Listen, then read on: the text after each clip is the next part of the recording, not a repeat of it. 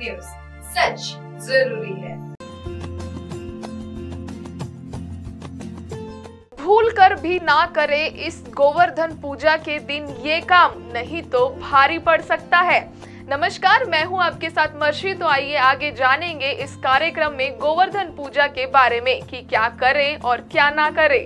जिला तथा सभी देशवासियों को राइस मिल एसोसिएशन सौंदड़ की ओर से दीपावली की हार्दिक शुभकामनाएँ।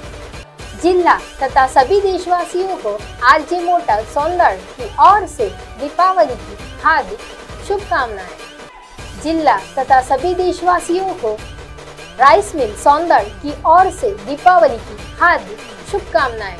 मान्यता है कि इस दिन जो भी भक्त श्रद्धा भाव के साथ पूजन करता है, उसे सभी पापों से मुक्ति मिलती है। और मनोकामनाओं की पूर्ति होती है। वहीं ऐसी मान्यता है कि पूजा के दौरान कुछ गलतियों को करने से बचना चाहिए, जिससे घर की समृद्धि बनी रहे। आइए ज्योतिषाचार्य डॉक्टर आरती दहिया जी से जाने की गोवर्धन पूजा के दिन आपको किन गलतियों से बचना चाहिए। कभी भी गोवर्धन पूजा घर के बंद कमरे में नहीं करनी चाहिए। ऐसा माना जाता है कि बंद जगह पर की गई पूजा ईश्वर को स्वीकार्य नहीं होती है। यही नहीं, ज्योतिष के अनुसार भी इस दिन बंद कमरे में गोवर्धन पूजा करना अशुभ माना जाता है। यदि कोई ऐसा करता है तो उसके घर की सुख समृद्धि कम होने लगती है।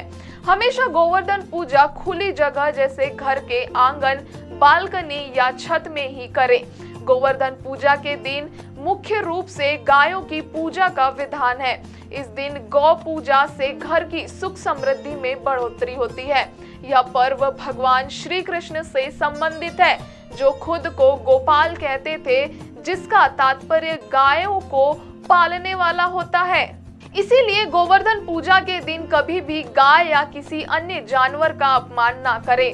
इस दिन यदि आप गौ माता को गुड़ और रोटी खिलाती है या अन्य सामग्री का भोग लगाती है तो आपके जीवन में सदैव खुशहाली बनी रहती है।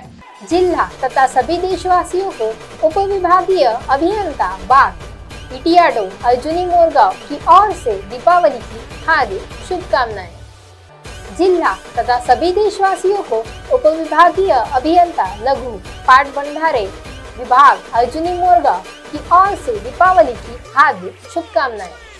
जिला तथा सभी देशवासियों को उप विभागीय अभियंता सार्वजनिक बांधकाम अर्जुनी मोरगांव की ओर से दीपावली की हार्दिक शुभकामनाएँ।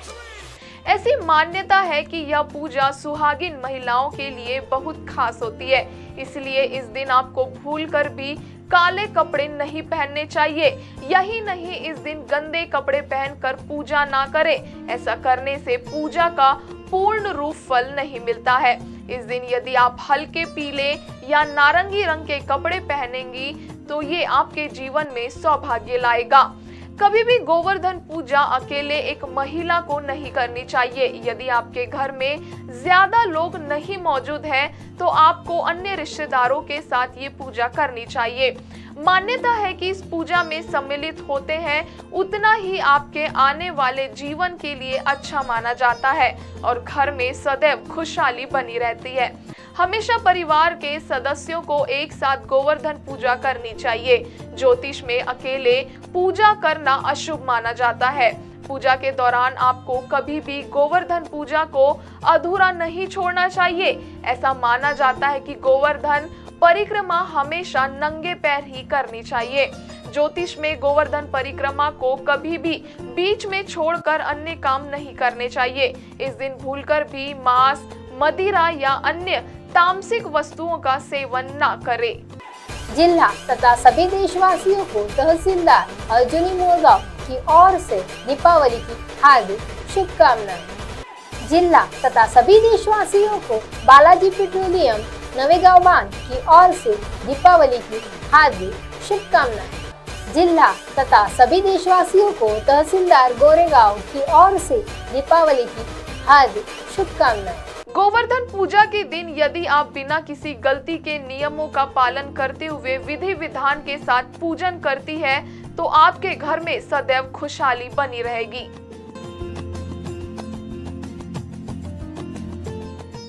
मैंने जो ये अभी आपको जानकारी दी, उम्मीद है कि आप सभी को अच्छी लगी होगी। तो मिलेंगे हम आने वाले कार्यक्रम में। तब तक बने रहिए हमारे साथ मतलब M N S news live के साथ। देखते रहिए M N S news live नमस्कार।